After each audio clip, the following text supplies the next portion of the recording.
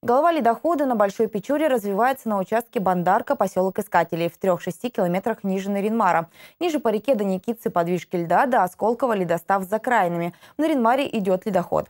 По Малой Печоре голова ледохода ниже Большой Сопки, в районе Андига закраины. От Ошвиски до Большой Сопки редкий ледоход. Между Нижней Каменкой и Хангуреем ледовая перемычка разрушилась. По Старой Печоре в Лабожском и Пылинце редкий ледоход. Подъем уровня не наблюдается.